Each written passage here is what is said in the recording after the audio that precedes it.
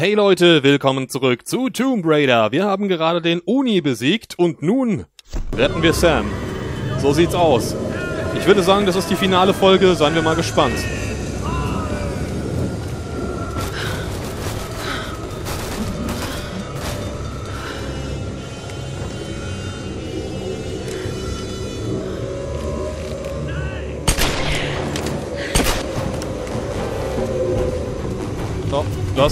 Nein! Du Drecksack.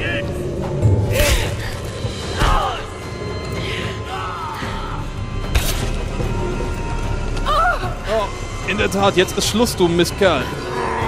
Ich krieg dich. Schwächling. Lara, mach dich fertig.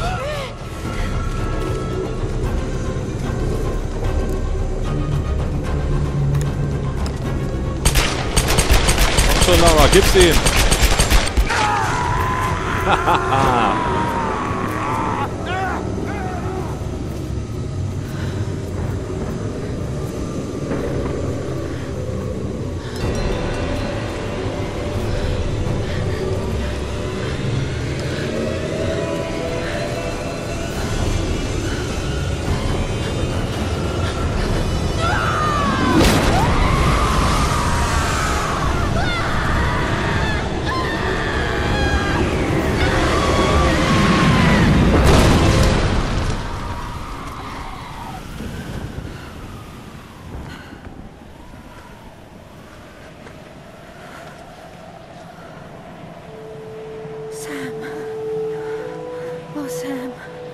Gott sei Dank.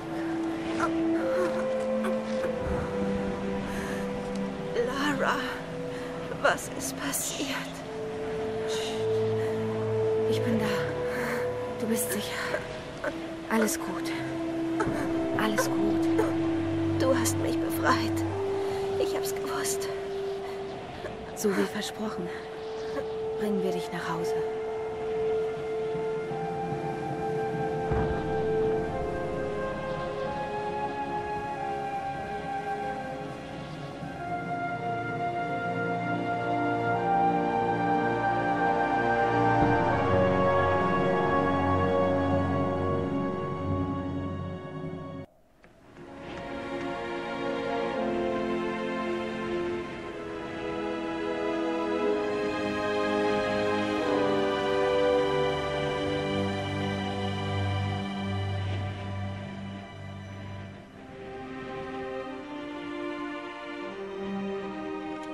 Da ist Lara!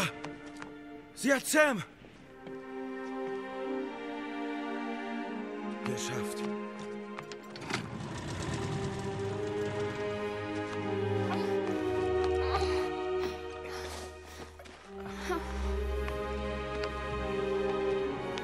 Ihr wird es bald besser gehen. Was ist dort passiert? Es ist vorbei.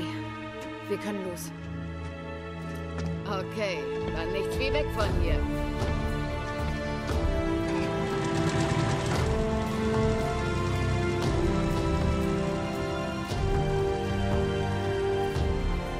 Ich war so blind, so naiv. Jahrelang habe ich an meinem Vater gezweifelt, wie alle anderen. Dabei hatte er mit so vielem Recht. Ich wünschte, ich könnte ihm das jetzt sagen. Ich war mir der Wahrheit immer so sicher.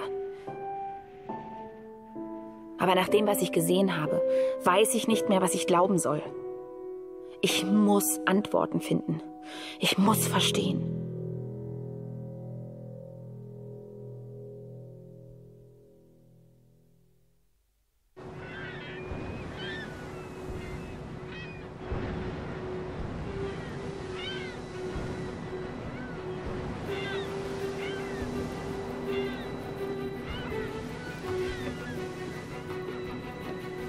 Brauchen Sie was? Keine Ahnung, was Sie da durchgemacht haben. Aber wenn ich Ihre Wunden und Ihren Blick sehe, will ich es auch gar nicht wissen. Naja, wir sind bald zu Hause.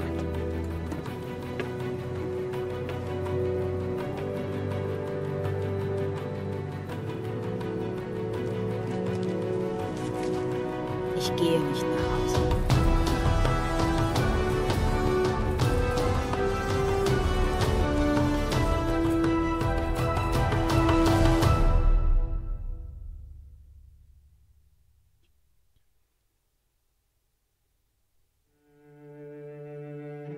Wow, Leute.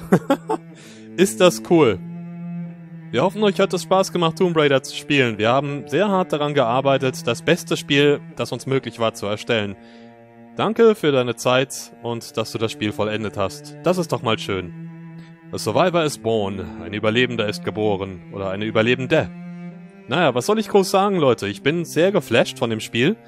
Also die Action ist ja mal wirklich fantastisch. Das Einzige, was mir jetzt so ein bisschen, ja, so ein bisschen ähm, negativ aufgefallen ist, ist die Charakterzeichnung gewesen. Ich meine, Lara war natürlich super umgesetzt, ihr Leidensweg und ihr, ja, ihr Weg einfach zur Tomb Raider, die sie ja ist, zur Grabräuberin, zur taffen Amazone mit den Doppelkanonen. Aber die anderen waren jetzt ziemlich farblos, oder? Also wie ihr schon gesagt habt im Let's Play, bei vielen Personen war es mir irgendwie böse gesagt fast schon egal, dass sie umgekommen sind. Also Alex, äh, ja gut, Roth war vielleicht was anderes. Der alte Grimm, wer ist denn noch alles gestorben? Ja, ziemlich viele. Die fallen mir jetzt, seht ihr, das ist das. Mir fallen nicht mal mehr die Namen dazu ein, der Leute, die umgekommen sind. Weil die eigentlich total uninteressant waren. Das meine ich. Also die Charakterzeichnung war etwas schwach, was die Nebencharaktere angeht. Ja, Lara natürlich super. Aber ansonsten. Naja, ich hatte viel Spaß damit, muss ich sagen. Also die, also die Inszenierung der Actionsequenzen, das war ja wirklich wow. Einfach nur wow. Habe ich so noch nicht erlebt in einem Tomb Raider. Ja, natürlich nicht. Die anderen waren ein bisschen, ja, wie soll ich sagen, nicht so ganz inszenatorisch an der Spitze wie das hier. Manchmal war es auch ein bisschen zu viel, finde ich. Also sehr durchgestylt. Aber das muss ja nicht schlecht sein. War sehr cool präsentiert. Auf jeden Fall, wenn ihr möchtet, dann bleibt doch noch gerne ein bisschen dran. Ich werde nochmal die Bildergalerien durchschauen, dass der Part nicht so kurz wird. Das wäre ja auch ein bisschen doof, dann hätte ich den gleich an den letzten ranhängen können. Ja, ich weiß. Aber ich wusste ja nicht, wie lange es noch geht. Von daher... Ja, die anderen werde ich auch noch spielen. Die habe ich ja, ich habe mir dieses Tomb Raider Pack gekauft. Damals, also auch mit diesem Spiel hier. Und da waren wirklich alle dabei, also Teil 1 bis 3, dann, äh, was war dann noch? The Adventures of Lara Croft. Also die klassischen werde ich nicht spielen, das sage ich gleich dazu, aber jetzt sowas wie Legend, Anniversary oder umgekehrt Anniversary Legend und dann kommt ja Underworld. Das heißt, diese drei Teile werden noch kommen. Auf jeden Fall. Ja, Angel of Darkness übrigens auch nicht. Bevor jemand fragt, der schlechteste Teil ever. Das ist ja auch so ein bisschen, wie soll ich sagen, peinliche Biografie von Crystal Dynamics. Die haben ja die klassischen gemacht, die allesamt recht gut waren, will ich sagen, damals. Also ich habe sie sehr gerne gespielt für die PlayStation 1. Aber, naja, Angel of Darkness, das war echt ein Griff ins Klo. Und gerade von den Gründern oder von den Erfindern von Tomb Raider. Furchtbar, furchtbar. Das hätte nicht sein müssen, dieses Spiel, sage ich jetzt mal so. Aber ich habe es auch nicht weit gespielt. Ich habe es irgendwie nach einer Stunde schon in die Ecke geschmissen, nie wieder angerührt. Naja, auf jeden Fall dieses Spiel, ja, sehr gut. Für mich äh, natürlich nicht Game of, Game of the Year. Das bleibt weiterhin, ihr wisst schon was. Muss ich, glaube ich, nicht großartig erwähnen. Ich tue es aber trotzdem. The Last of Us. Denn da war die Charakterzeichnung im Vordergrund und die Geschichte einfach nur fantastisch. Hier hat es aber wirklich gute Ansätze gehabt. Vor allem das Mystische mit Himikos Geist war super. Naja, alles in allem ein wirklich, wirklich, wirklich tolles Spiel. Und ich kann jedem empfehlen, der es noch nicht gespielt hat, das mal auszuprobieren. Auch wenn ihr das Let's Play gesehen habt. Ich habe sehr viel Spaß damit gehabt. Ihr werdet es auch haben, denke ich. Je nachdem, wie ihr da auf das Ding zugeht, weil viele klassische Tomb Raider-Fans, äh, ja, das ist ja immer sowas bei Remakes oder Relaunches, dass man dann sagt, so, na, das alte war aber viel besser, weil... Äh, und dann fehlen die Argumente. nee, ist wirklich so. Also ich habe das schon oft erlebt. Wenn halt Spiele mit der Zeit gehen und ein bisschen actiongeladener werden, dann kommen gleich die alten Verfechter und meckern dran rum. Leider so auch bei Resident Evil, obwohl ich den sechsten Teil ganz okay fand. Zwar nicht so gut wie damals, aber wie gesagt, die Spiele gehen halt mit der Zeit. Man kann es mögen oder nicht. Oder man hält sich dann halt an die klassischen Dinger fest. Naja, ich fange schon wieder an, von anderen Spielen zu reden. Das. Nee, da lasse ich mich wieder verleiten jetzt. Komm wieder vom Thema ab. Auf jeden Fall, wir lassen das jetzt noch kurz durchlaufen. Ich halte so lange die Klappe. Ich weiß eh nicht, was ich noch groß sagen soll. Und dann gehen wir nochmal ins Hauptmenü und schauen uns mal die Galerie an. Wenn ihr möchtet, wenn ihr möchtet, wie gesagt. Ich weiß, einige wollen das, aber andererseits habe ich auch nicht so großartig Lust drauf, muss ich zugeben. Der Online-Modus, ähm, der Multiplayer.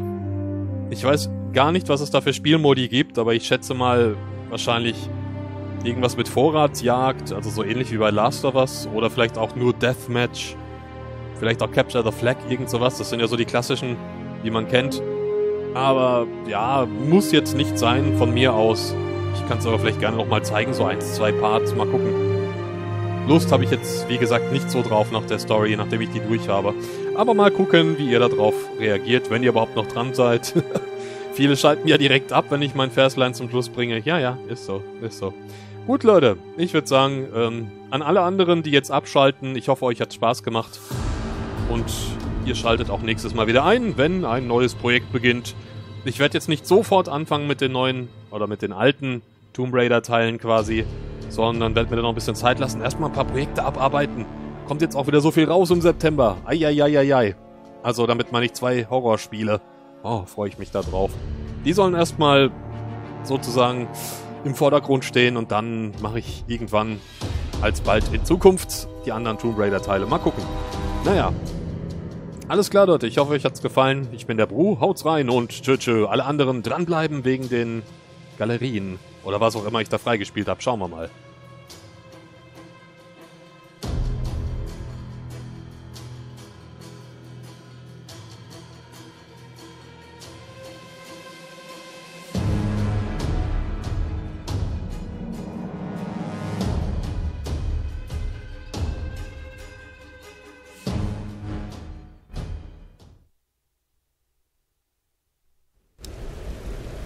Glückwunsch, Sie haben die Geschichte abgeschlossen und 97% des gesamten Spiels gemeistert.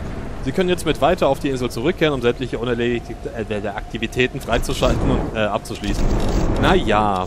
So, dann wollen wir mal gucken. Errungenschaften. Nein, das war's nicht. Das war's nicht. Ähm. Extras? Ich glaube Extras. Konzeptdesign. Schauen wir mal ganz kurz. Oh, Lara ansehen. Aha. So sieht sie sauber aus. Gut, dass wir das, das ganze Spiel nicht übergesehen haben. Sie war... Oh, das ist auch sehr hübsch, aber vielleicht zu... Ja, zu hübsch einfach. Sie ist ja schon eine Schönheit. Zumindest hier im Remake. Oder im Relaunch. Auch wenn sie dreckig ist. Ich weiß ja nicht. Das steht hier irgendwie.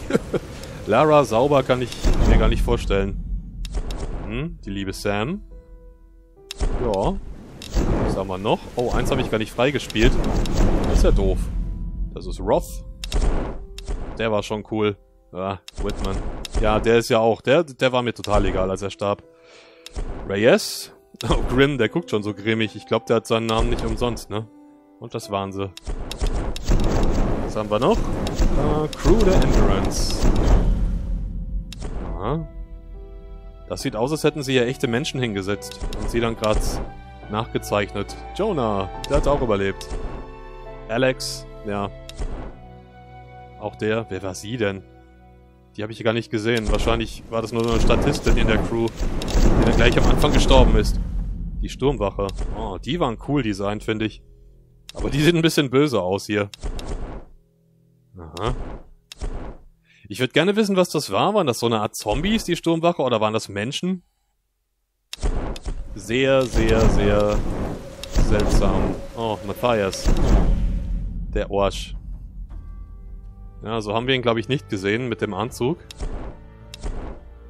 Wer ist das denn? Ach, das waren die ganz normalen. Boah, das war der Dicke auf dem Schiff, auf der Endurance. Krass. Oh, ja, und da sind die ganz zerrupften. Oh, Seht's euch mal an. Jäger der Solari, Sprengmeister der Solari, Krieger der Solari, Solari-Vollstrecker. Die Elite. Boah. Und da Gefangener der Solari. Ja, das waren die in den komischen Katakomben, die die ganze Zeit rumgeschrien haben. Ah, gucken wir mal weiter. Oh, da gibt's eine ganze Menge. Die Endurance. Aha. Ja, schön. Ich werde mir jetzt nicht alle angucken, oder? Oh, die Höhle der Plünderer. Da sind wir ja aufgewacht. In dem Sack an der Decke. Richtig böse, du. Küstenwald. Ja. Ja, Entschuldigung, wenn es ein bisschen schnell geht, aber wenn ich mir jetzt alle langsam anschaue... Bergtempel. Oh, das war heftig, als alles in sich zusammenbrach. Cool. Ich glaube, Konzeptzeichner, das muss ein toller Job sein. Wenn man einfach mal irgendwas kritzeln darf. Oh, der Wolfsbau. Ja, von den Wölfen kam irgendwie ziemlich wenig vor, oder? Ich hätte mir vielleicht noch ein paar mehr Kämpfe gegen so wilde, mystische Tiere auch gewünscht. Denn bis auf die Geister war eigentlich kaum was mystisch. So, was haben wir da noch? Der Funkturm. Schick. Oh, das, das war eine Aktion, du. Da hätte ich richtig Schiss gehabt. Naja. Wie gesagt, sich einfach mal austoben können als Konzeptzeichner, das muss auch super sein. Ich könnte es zwar nicht, weil ich nicht zeichnen kann. Nicht sehr gut. Aber so ein kreativer Job ist bestimmt sehr erfüllend. Kloster an der Schlucht. Aha. Na, ich hätte mir vielleicht nur noch eins, zwei mehr Grabkammern gewünscht. Das war echt das Highlight für mich, diese Grabkammern mit dem Rätseln und... Ja, nur ein bisschen wenig irgendwie. Oh. Ist das nicht die Barackenstadt? Die Slums? Ja, Ausblick über die Barackenstadt. Die war auch sehr cool, hat mir echt gefallen vom Design. So ein bisschen halt wie Megaton. Oder generell das Fallout-Universum. So alles Endzeit aus Wellblech und notdürftig zusammengezimmert. Echt cool. Solari-Festung. Ah. Auch hier ist halt echt alles abgefackelt. Wo Lara hinkam, hat sie Verwüstung angerichtet. Virtuelle Thron der Sonnenkönigin. das war geil mit dem Schiff. Aha, das Walfangboot. Ja, das haben die auseinandergenommen. ich hab's ja fälschlicherweise so interpretiert, dass sie das zusammenzimmern. Nee, nee, haben sie auseinandergenommen. Ja, Klippen mit Schiffswrack. Hm. Was ich nur interessant gefunden hätte, oder was ich gerne erfahren hätte, was passiert wäre, wenn wirklich Sam übernommen worden wäre. Die wären doch bestimmt nicht weggekommen. Ich denke mal, Himiko hätte aus Wut alle umgebracht. Die ganzen Solari, oder? Ah. Weiß man nicht. Weiß man nicht. Das Grab des Generals. Die Felsklippen. Also ich fand schon von der Abwechslung sehr, sehr geil. Ich meine, im Prinzip war es so eine kleine Insel, aber... Oh, schön. Aufstiegsritual. Oh. Ah bisschen, ja, wie bei Warcraft. Arthas auf dem Thron. Naja, gut. Ähm, Charaktermodelle gibt es ja auch noch. Mhm. Die kann man sich noch... Ja gut, die kann ich jetzt drehen, aber... Muss ja nicht sein. Sehen wir uns die nochmal an. Alex. Irgendjemand sagte, der sieht aus wie Harry Potter. Äh, keine Ahnung. Habt ihr Filme nie gesehen? Ist mir auch recht. Relativ. Samantha. Ah. Dass die alle barfuß rumrennen. Leute, wisst ihr, wie kalt das ist? Entrance Deckarbeiter, ja. Guck mal, der sieht sogar aus wie ein echter Mensch. Also da haben sie wohl jemanden wirklich nur fotografiert vom Team. Und haben den dann umgesetzt. Was? Ach, das ist einmal sauber, einmal dreckiger und dann ganz zerschrubbt. Mit überall geflickt und so. Nicht schlecht. Äh. Ah, die sehen gruselig aus, die Typen. Warum haben die eigentlich Blut im Gesicht? Haben die was gefressen oder haben die auf die Schnauze gekriegt? Der Koloss. Der Oni-Krieger. Oni-Verfolger. Matthias. Ah, der sieht echt unheimlich aus. Himiko, die Sonnenkönigin. Uah. Uah. Naja, gut. Ich denke mal, das reicht. Oh, wir haben sogar genau den Part voll. Na, wunderbar. Na, wie gesagt, Multiplayer... Hm, weiß nicht. Oh, null Freunde online. Super. Ich habe keine Freunde, die das spielen. ja, wer weiß warum. Es soll ja bei solchen Spielen nicht nur um den Multiplayer gehen, sondern hauptsächlich um den Singleplayer. Gut, Leute, ich hoffe, euch hat's gefallen. Auch jetzt nochmal an dieser Stelle. Ich habe es ja schon gesagt im Abspann, den ich ein bisschen gecuttet habe. Und ähm, ja, wenn ihr noch dran bleibt, ich danke euch fürs Zuschauen und wir sehen uns wieder bei einem anderen Projekt. Ich bin der Bru Haut's rein. Tschüss. tschüss.